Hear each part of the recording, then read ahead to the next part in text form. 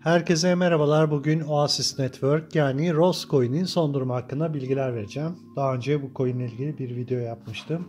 Onu da yukarıdaki linkten izleyebilirsiniz. Güncel Roscoin değeri 0.47 dolar civarlarında son 24 saatte %21'lik bir artış gösterdi. 24 saat en düşük 0.38, en yüksek ise 0.49 dolar oldu. İşlem hacmi yine son 24 saatte %88 arttı.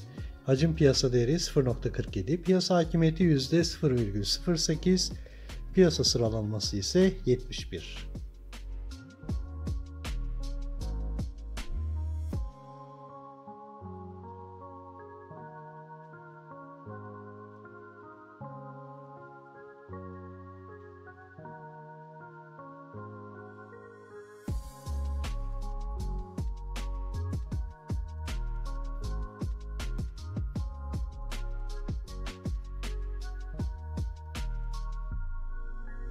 Eğer siz de Roscoin alıp satmak istiyorsanız açıklamada verdiğim linke tıklayarak üye olabilir, alım satım yapabilirsiniz.